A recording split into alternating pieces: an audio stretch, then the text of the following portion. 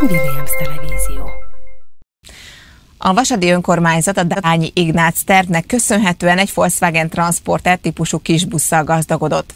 A tanyagonnoki szolgálat így már két kilenc személyes kisbusszal látja el feladatait a Vasad környéki tanyavilágban. A tanyagondoki szolgálat fejlesztésére nyertünk egy Volkswagen Transporter típusú 9 személyes kisbuszt, melyet a múlt, múlt héten meg is tudtunk vásárolni, és el is tudtuk hozni a kereskedőtől.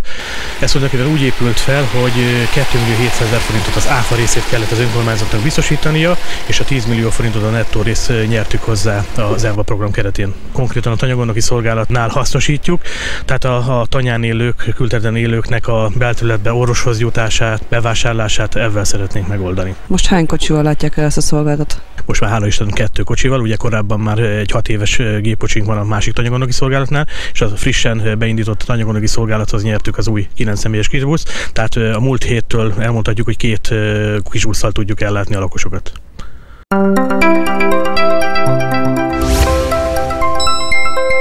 William.